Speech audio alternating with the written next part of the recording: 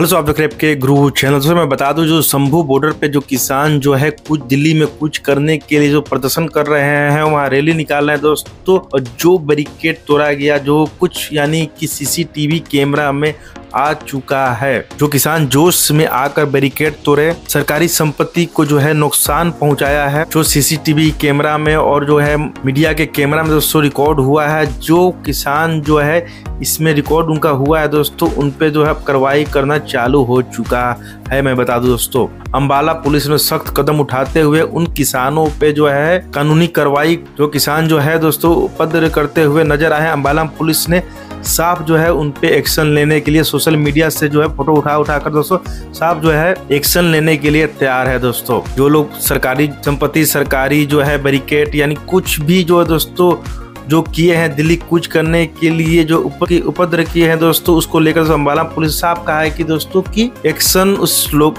किसानों पे होगा। दोस्तों, आपका क्या मानना है दोस्तों? कमेंट करके ज़रूर बताइए। वीडियो अच्छा लगा लाइक कीजिए, चैनल सब्सक्राइब कीजिएगा। वीडियो अच्छा